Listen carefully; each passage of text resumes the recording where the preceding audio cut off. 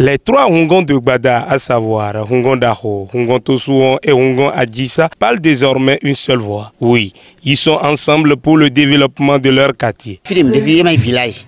Tohome. Oui, mais mais mais les canons sont sous camé. Boanon bleu, ndagui. Bon, mais les canons bangbafi. Bon, manon bleu, ndagui. Oui, mais eh oh, il a l'état mais.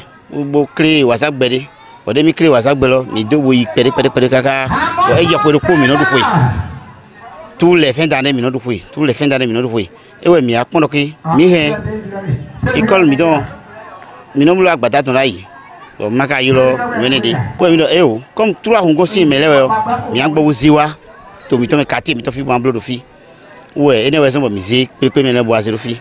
Alors, pour concrétiser leurs actions et surtout remédier aux problèmes de la non-scolarisation des enfants, ils ont primé tous les écolières et écoliers du CI ce dimanche 2 janvier 2022 à Gbada. Grande est ma joie d'avoir aujourd'hui le groupe des trois Hougon, Hougon Dao, Hougon Tosuro et Hougon Adissa pour primer les enfants de CI.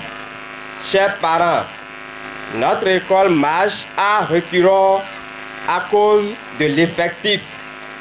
C'est pour remédier à cette situation alarmante que nous sommes venus primer les âmes innocentes qui sont devant nous, chers parents. Dans leurs actions de développement, ils lancent cet appel aux parents car le meilleur reste à venir. Chers parents, Inscrivez massivement les enfants à l'école et suivez leur cursus scolaire.